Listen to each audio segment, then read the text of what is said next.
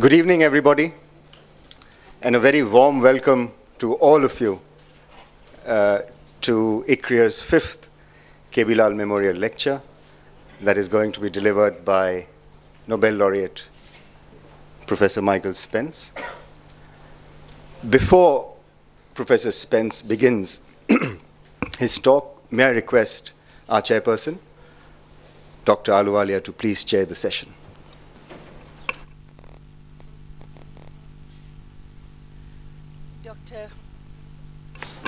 Dr. Mike Spence, Dr. Rajat Kathuria, friends and members of the Lal family, a very warm welcome to you all.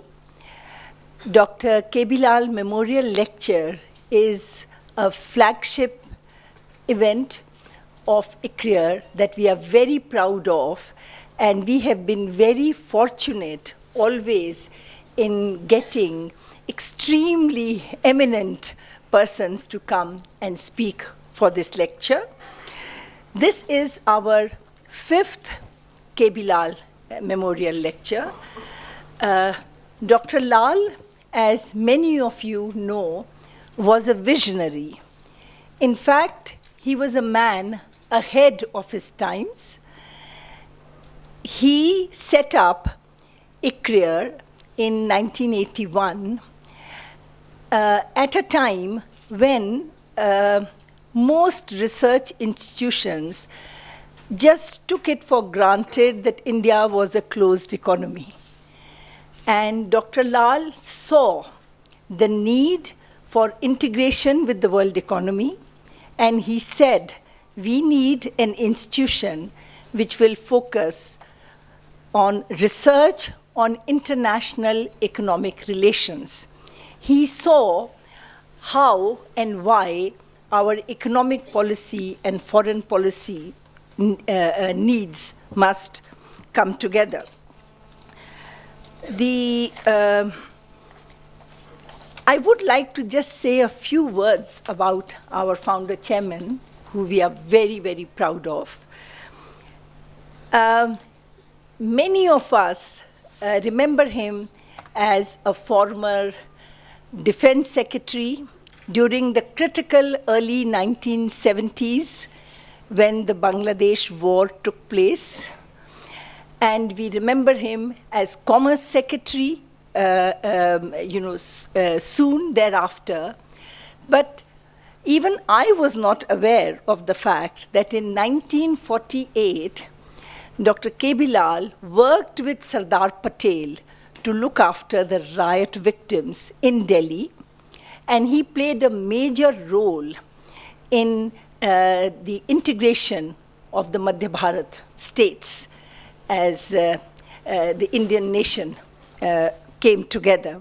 So we uh, start with a person with his roots in integrating India and then moving on to looking for uh, strategic links with the rest of the world and recognizing that we need research in order to make this transition from a closed economy to uh, uh, find our place in the global scenario. In fact, um, in when he was, um, uh, you know, he had held a number of positions. he was ambassador of India to the European Economic Community, and it was at that time when he actually um, brought forth the concept of economic partnership with the uh, um, EC because um, uh, the countries of South Asia were non-associable at that time with the uh, uh, European countries. And we've come a long way from that to the EU with whom we now have a strategic partnership. He was the first chairman of the group of 77. I mean, I could just go on, uh, but I would just say that we at ICRIER are very proud of our founder chairman and hope that we can live up to the expectations that he had of uh, uh, uh, ICRIER. Now, this year, I have the great pleasure and honor to welcome Professor Mike Spence, who has agreed to deliver the fifth KB Lal Memorial Lecture.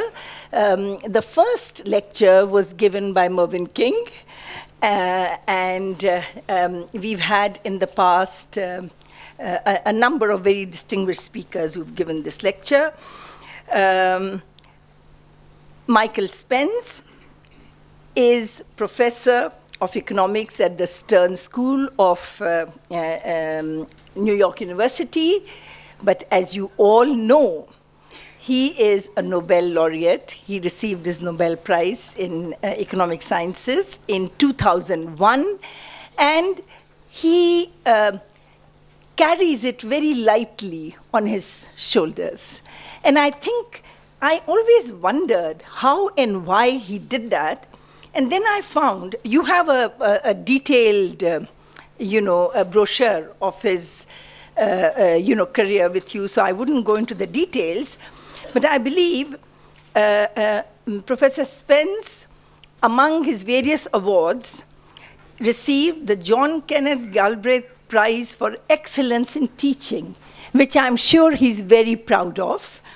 Uh, he was a teacher to my son when uh, he was dean at the Graduate School of Business at Stanford.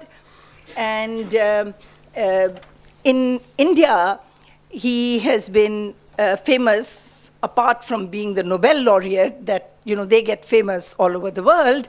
Another time when we all heard a lot about Professor Spence was when he chaired the Independent Commission on Growth um, nicknamed Growth Commission.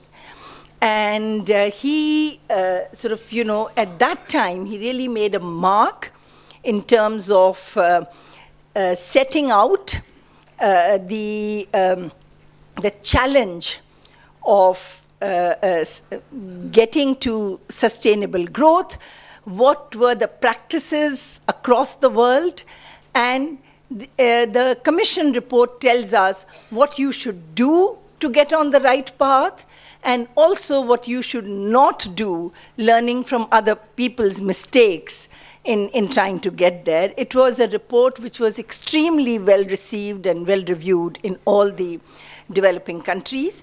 And today, uh, Professor Spence is going to be speaking to us on growth prospects and challenges in the coming decade.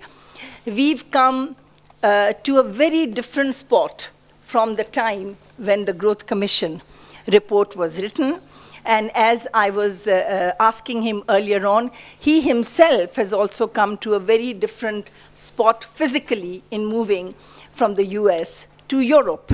And I'm sure where you are also changes your perspective on how you look at things. What I'm very happy at is that he has um, given a subtitle to his lecture which says building blocks of sustainable economic growth strategies. And I have to uh, uh, uh, confess here that at ICRIER for the past 25 years or so, we thought that we were ahead of the curve because we were looking at global competitiveness and what all we needed to do to uh, make it into the uh, big world. But of late, for the past three, four years, we've also realized that growth without sustainability will not work. And there are two areas in particular where ICRIER is focusing its research in a big way, and these are the areas of urbanization, which poses challenges of sustainability for growth, and climate change. Uh, so I'm very happy to see that Professor Spence is going to give us a perspective which is not just about growth and rising incomes and inclusion, but also how it can be made durable and sustainable. So, with this uh, long introduction, uh, I, I, felt I had to do that because this is a very special occasion for ICRIER Mike, so I hope you'll forgive me. I normally don't give such long welcome remarks. But with this, let me now invite Professor Spence to deliver the lecture.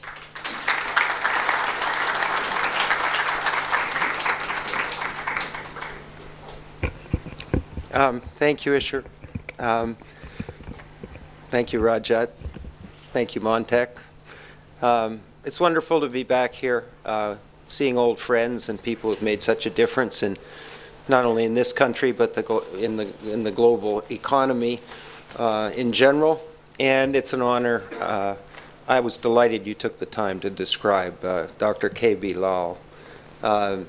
Uh, it's an honor to be here. I, I actually took a look at the, my predecessors. Mervyn King was the first. I ran into him at NYU where he's hanging out decompressing by surprise, I might add. He, he looked at me and said, What are you doing, Mike, here? And I said, Well, I'm work here. What are you doing here? He told me a story um, which makes me think that we could use uh, Dr. Lal or somebody like him in the United States. He went to a high level conference in Chicago uh, sometime during the fall, uh, two day conference on sort of economic challenges. And in those two days, the rest of the world was not mentioned a single time. Uh, so we've got a little distance to go. I'm going to try to convince you that at least the part of the world I've been thinking about, the dynamics, uh, that's a, a, fairly big mistake. Anyway, it's a thrill to be here, and uh, I don't have an infinite amount of time. What I'm going to try to do is describe or help us understand the challenges and the recovery processes and so on that we're seeing in various parts of the world. Uh, so let me just launch in. Um, as, as Isher said, the Growth Commission at some point decided to focus on bad ideas as well as good ideas. That was actually Montek Ahluwalia's idea, good idea, I might add. And so we did that. It turned out it was the most popular part of the growth report. Uh, there were something like 20 of them in two pages, and we started getting emails. You know, people were just thrilled. You know, my government's doing almost all of them, that sort of, you know, stuff. and it turns out that people have been very inventive uh, in concocting defective growth models. Uh, and what I want to convince you of today is it's a lot easier to concoct effective growth models in open economies in the context of a, a global economy, even when it's not distorted, but certainly when it's distorted. Uh, and this is just a list of a few of them. I'm going to talk about the ones that are particularly pertinent uh, now, ones that are systemically important. But you know, people have tried the import substitution model. Uh, Canada, Australia, New Zealand had ex excess diversification models buttressed by essentially tariffs, and that eventually got so expensive they all abandoned it. I grew up in Canada, so I kind of watched that pretty closely. The troubled advanced countries are on some version of an excess aggregate, domestic aggregate demand model propped up by debt and so on, and I'll talk in more detail about that. Um, and then there, there are others. The China one is almost the, the mirror image. It's an excess reliance on the tradable sector and an excess reliance on investment to the point they're driving it into low return territory.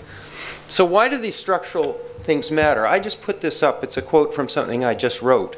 Uh, and the straight answer is that it's almost impossible, in my judgment, to understand the growth dynamics in advanced and developing countries and the potential for defective growth patterns and understand the timing and nature of the recovery processes without paying attention to both supply and demand and without the distinction between the tradable and non-tradable sector. If you look at the global economy right now, it's pretty easy to give a snapshot. Uh, and this is a, a, a, brief version of it. The United States is in what I call a partial recovery. They were growing at one and a half to two percent in real terms. This is driven almost entirely by the private sector. Uh, the fiscal sector has now become a drag. Uh, but the private sector is moving pretty aggressively in, the, in, in a kind of restructuring, uh, moving toward external demand on the tradable side. Europe, I'm afraid I have to tell you, is not is going to be a non-player in terms of growth for an extended period of time, and that has to do, and that is notwithstanding the fact that uh, the systemic risk associated with the multiple equilibrium structure uh, of the sovereign debt markets in the in the eurozone has essentially gone away, thanks to the ECB under Mario Draghi with backing from Germany. Uh, So we have stable sovereign debt markets uh, with yields that are manageable from a fiscal point of view, uh, and that's a good thing. And that was the only thing we were focused on for a good chunk of time, but we still have major, major uh, problems in the structure and in the way economies uh, conducted themselves in the first 10 years after, uh, after the euro came into existence that, that are going to take years to get out of.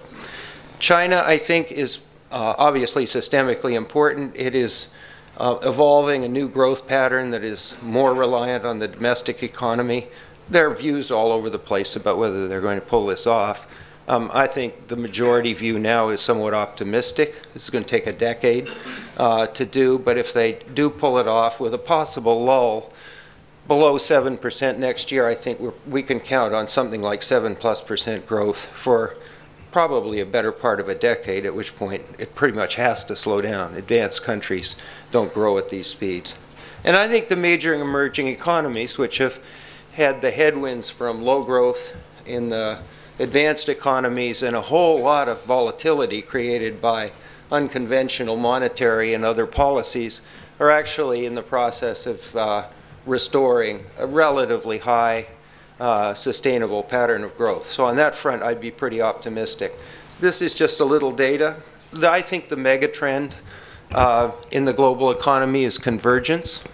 Um, if you go back 25 years, developing countries are probably 30% of the global economy. They're now over 50%. Uh, this is transforming so many things, I, I, won't even begin to describe them, but, but it's the major event of our century uh, for sure. Um, I did this just to calibrate uh, and in particular to highlight how it is that China has become such a centrally important part of the global economy. On the left-hand side of that graph is China's current GDP. It's about half the size of the United States or Europe, and within something like a decade to 15 years of being on a par in terms of sheer size, not per capita income. And then there are the other major economies, including India, which is the other future economic giant. Um, and if you add them all together, you get something that's a little bit larger than China is now and not growing quite as fast. So that's the current kind of configuration uh, from the point of view of systemically important rising import and, and certainly future important developing countries. Another trend that I think I want to just put in behind the analysis I'm going to give you is that the tradable sector of the global economy, which means the fraction of the global economy that is, for practical speaking, in the category of goods and services that can be traded, that is produced in one country and produced in another. That fraction is clearly rising, and the export share of the global economy sort of shows that. This is a picture, they have been having fun at the IMF doing this. This is a picture in terms of trade, you can do this for finance of the network structure of the global economy. And once again, this is evolving extremely quickly. I put this up not because I want to sort of track around all these little lines, but to say that in this world, uh, when you're trying to assess anything to do with growth in any particular country, you have to have some sense of where it sits in this network. Uh, because the external demand is so important you need to know where it is and where it's and and it's and the target destination for the supply side of the tradable part of the economy you need to know as well. And finally, something we talked a bit about last night uh, over dinner, the global supply chains are becoming much, much more complex. Uh, my friend, our friend Victor Fung, in, in Hong Kong who runs one of the major sort of supply chains in consumer products and has for most of the post-war period, has had a front row seat on that. He describes this process as atomization. What is going on is that, that technology and sort of management learning has created situations in which you can construct a global supply chain with pieces all over the world and not have it lose much in terms of efficiency. And so, and so when you look at what happens, this is exactly what is happening. Uh, and so one of the consequences of that is that when you kind of look inside an economy, you can find things that are highly competitive and part of global supply chains. You used to be able to see things sitting beside them. that were there because proximity mattered, well, they're not sitting there anymore, right? If, there, if there's a better place to do it because of human resources and infrastructure and so on, it will go there. It, the kind of simple way to say that is on the tradable side of the global economy, things are getting very, very competitive. Um, if you, now I'm going to switch and sort of talk a little bit about sort of growth. Um, we know from the work of Solow and Swan that the long run determinants of uh, growth are innovation that drives total factor productivity. Uh, we're pretty sure from experience that one of the key inputs to that is di the dynamic aspects of competition, entry and exit. And must, most of the progress in modeling uh, growth has, has been in this area. It is focused on the supply side. And the implicit assumption in most of those models is that the economy is a standalone entity. That is, there isn't much that looks like the global economy sitting around it. And I think what has happened is this has caused us beyond the realm of, you know, cyclical, the study of cyclical phenomena and Keynesian responses and so on, to forget about demand in a way that's been that's hampered our ability to try to understand the actual dynamics that go on in, in economies. And so what I want to do is to, to suggest to you, uh, first by talking a bit about it in general, and then by looking at the United States, the challenges in Europe, and the Chinese case, to explain to you why I think this is, this is important.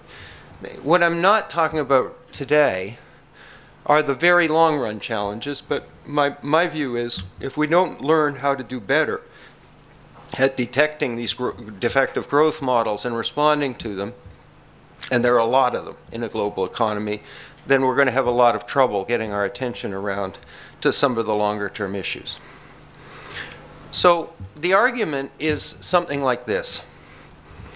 In open economies, not only the level of aggregate demand, but its composition matters in terms of sustainability and balance. Uh, the, it, it won't surprise you to know that demand drives the supply side of an economy. That is the set of signals to which the supply side responds. Um, now, the level can fall short. We've seen lots of examples of demand shocks, but the composition uh, can be out of balance as well. So just two words on that. Uh, if I leave you with nothing else, it's, it will be the notion that you have to pay attention to the distinction between the tradable and the non-tradable side of the economy because how they move and in response to what kind of demand is fundamentally different. What does the composition of demand mean? well, you can break it down as far as you want, but roughly speaking, aggregate demand in any economy breaks down between the consumer and, and consumption, government, meaning government expenditures and delivery of services, and then investment, which we learned in the Growth Commission work, has to be divided into private sector investment and public sector investment in things like health, education, infrastructure, and so on that has a, an immediate direct effect on the level and returns to private sector investment. And many economies get out of balance in that composition. And this is what I want to show you uh, today. I'll try to be convincing about it. In, in, let, us just take excess domestic aggregate demand. In a closed economy, that is, one has relatively little connection with the global economy, if you have excess aggregate demand, you get inflation then it either gets out of control or the central bank steps in.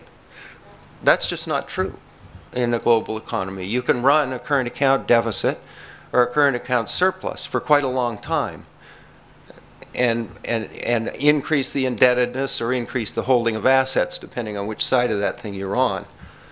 Now, I don't mean that's automatically a defective growth model, but you can see that if there are dangers in that kind of pattern, uh, they're dangers that are only present in, a, in the context of an open economy.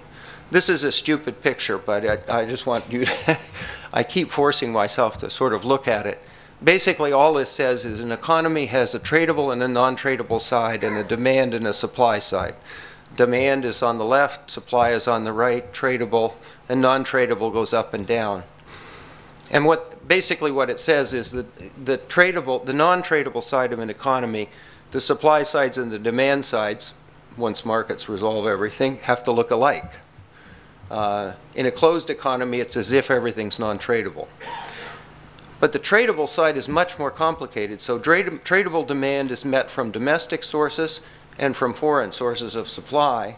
And tradable supply has target markets in the domestic market and in the foreign markets. Now I think you can see where I'm going. So, so I'll tell a story really quickly.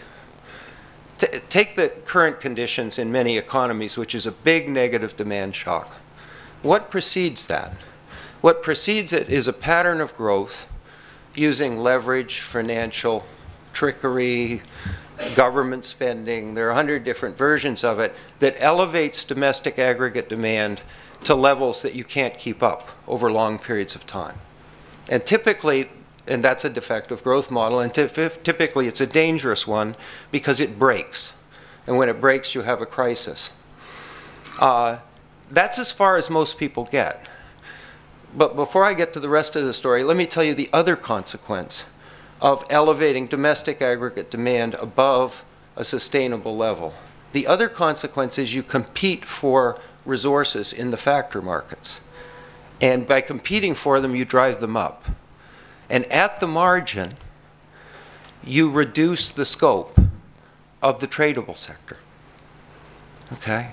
You make yourself, you don't, you don't write yourself out of the tradable sector, but at the margin, you, you put yourself out. It turns out in advanced economies, and maybe in others, that what, what you write yourself out of are the labor intensive ones. So you have a bigger negative effect on employment than you do on. That's the structural, you know, what lies behind that growth pattern in terms of structure. Now that, now that now the thing breaks, and you have a big negative demand shock, much less domestic aggregate demand than you had. Consequence one, the, trade, the non-tradable sector is dead in the water. There is nowhere to go. Consequence two, a little bit, varies a lot with economies, uh, of the tradable sector is also hit negatively. But there's still external demand. And so, what you would expect in an economy that's trying to recover from a defective growth pattern and a negative demand shock is that resources will start to flow toward the demand that still exists. Now, there's more to the recovery. I mean, there's fixing people's balance sheets and, and delevering and a whole lot of other things. So I don't want to oversimplify this, but I am emphasizing the structural change. And that is not only sensible in the short run, but it's part of rebalancing the structure of growth in the economy. And what I hope to show you is that is exactly what is happening in economies that have the flexibility. So, what are the key inputs to that process? There are two, really. One, policy doesn't do anything that artificially restores the domestic aggregate demand because that while it seems like a good idea, and from a Keynesian point of view, if you're relatively relaxed about how much government debt you can have, seems like a great idea, carried to extremes, either on the fiscal side, plus or minus, or the monetary side will actually stall or impede or slow down the structural change on the tradable side of the economy. Okay. Um, I'm going to skip over some of this and then talk to you a little bit about the American economy. So you can actually see this happen, right? I'm sorry, I skipped the other cri critical condition. The economy's flexible in the factor markets. That is, the labor markets don't get in the way, you know, of shutting some stuff down and moving it. Uh, the capital markets can move capital and so on. So that kind of flexibility is critical uh, to determining the speed with which this happens. It'll happen in any economy. It's just that it can be painfully slow or relatively quick. So what these graphs are is a picture of the American economy coming out of the crisis. And the ones you want to focus, you know, they compare different, quote, recessions that we've had. The blue one uh, is the one that I'm focused on. So we had a big negative demand shock. It showed up in imports, and imports have sort of clawed their way back to where they were in 2008. However, if you look at exports, and exports aren't a big part of the story in the American economy, they're way back above that. Okay?